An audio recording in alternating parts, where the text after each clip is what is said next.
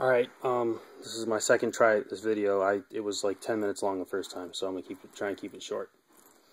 Uh, here's half a Droideka, which I can't really send you because I can't find the rest of it. Um, I wish I could. That would be pretty sweet because those aren't, those don't come with a lot of sets. Um, real quick, pieces I'd recommend gluing are this.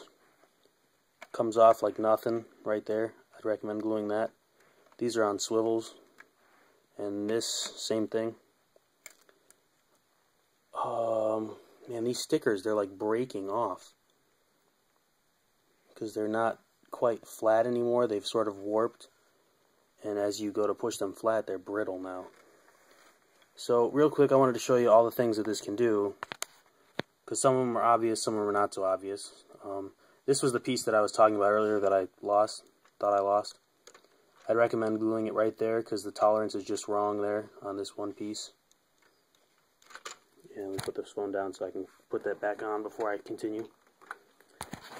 Um, one more thing that I've noticed so far that I'm missing, and I don't know if I'll be able to find it. There's this little, I don't know, it's a 20 degree thing. That's not on the other wing. Um, I'm trying to find it now.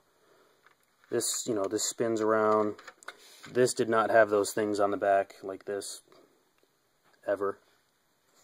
Uh, I found the dude's this was not Obi-Wan. I remembered it's just a Jedi.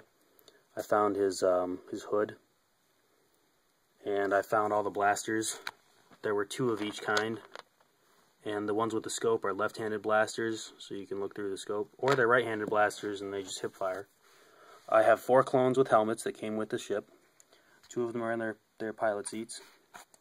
The, the wings are on hinges, and these supports go as far into there as they can and that's probably the most sturdy piece out of any Lego set I've ever built, is this right here. These doors swivel back just like they do in the movie. Um, these aren't on like a gyroscope like they are in the movie. They lift up, but there's no, there's really no clones that go there. It didn't come with six minifigures. It only came with four. Well, five. Four in the uh, Jedi. Um, so these cockpits, they come off, they're only attached up top. The clones come out, or they stay in there. And this lifts up. Now that's another thing. I'd recommend gluing, real quick, this piece underneath the vented piece. There's a little hinged thing that holds the wings on. And the front ones on both sides are fine, because they're held in pretty securely. These are not so secure.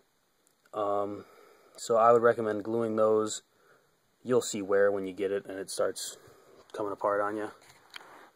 But something that would not be so obvious about this, there's a magnetic in the front half here. Sorry, I'm trying to. There we go. In the front half here, this comes out to the side on both sides, and there's a little drop ship, or there's a little drop package. And it has like a thing full of tools and stuff. So you can release that without opening this thing up, but I just wanted to show you that that's there so that you know. Because that I would not have known that was there if I didn't build build the thing. And it's magnetized. Just like that. And it can rotate freely. And then this goes back here. I don't know what's preventing it from... oh, yeah, you have to, like, open the other side now I remember. You sort of have to lift this up a little bit, open the other side, close this side first, and then close this side.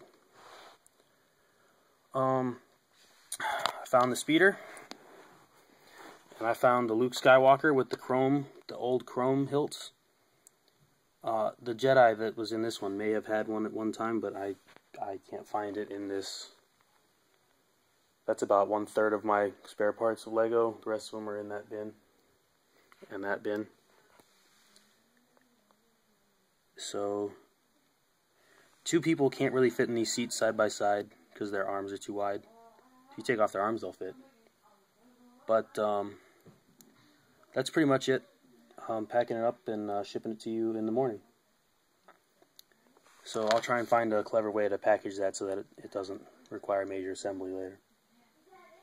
that's about it. Um, catch you later, Rob. Thanks for the trade. See you.